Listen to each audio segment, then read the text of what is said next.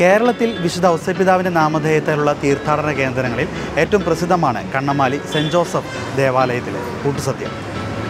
എല്ലാ വർഷവും ലക്ഷക്കണക്കിന് ആളുകളാണ് ഈ ദേവാലയത്തിലേക്ക് മാർച്ച് പത്തൊമ്പതിന് വിശുദ്ധന്റെ മാധ്യസ്ഥം തേടി ഓടിയെത്താറ്. ഈ വർഷവും മാർച്ച് പത്തൊമ്പതിന് നൂറ്റി പത്തൊമ്പതാമത് ഊട്ടുസദ്യയുടെ അവസാനവട്ട ഒരുക്കങ്ങളാണ് ഇപ്പോൾ ഇവിടെ നടന്നുകൊണ്ടിരിക്കുന്നത്.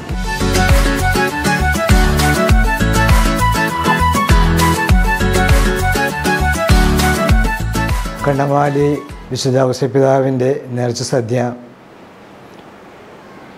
ഈ രണ്ടായിരത്തി ഇരുപത്തി മൂന്ന് മാർച്ച് പത്തൊൻപതാം തീയതി ഞായറാഴ്ച നടത്തുന്നത് നൂറ്റി പത്തൊൻപതാമത് നേർച്ച സദ്യയാണ്. ആയിരത്തി തൊള്ളായിരത്തി നാലിൽ ഭാഗ്യസ്മരണാർഹനായ ജോസഫ് സ്വാരസ് അച്ഛന്റെ കാലത്താണ് ആദ്യത്തെ സദ്യ ഇവിടെ നടക്കുന്നത്.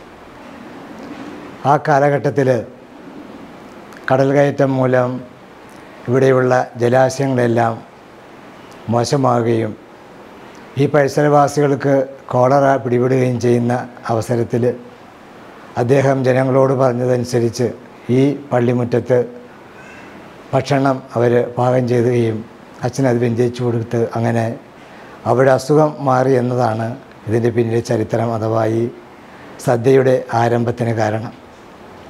നാനാമതസ്ഥരായ മനുഷ്യർ ഈ തിരുനാളുമായി ബന്ധപ്പെട്ട് ഇവിടെ ഭക്ഷണം ഒരുക്കുവാനും ഇതിൽ പങ്കെടുക്കുവാനുമായിട്ട് വരുന്നുണ്ട്. ഈ ദിവസങ്ങളിൽ പായസവും കറികളും അങ്ങനെയുള്ള കാര്യങ്ങളെല്ലാം ഏതാണ്ട് പായസമെല്ലാം ഒരുക്കി കഴിഞ്ഞു ഇന്നേ ദിവസം.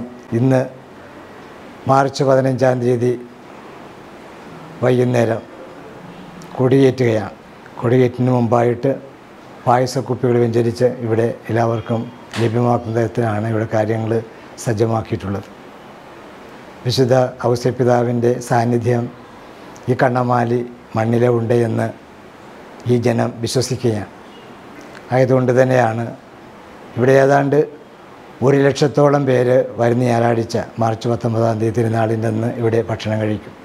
കൂടാതെ അത്രത്തോളം തന്നെ പായസക്കുപ്പികളും ഇവിടെ നിന്ന് വിതരണം ചെയ്യുകയാണ്.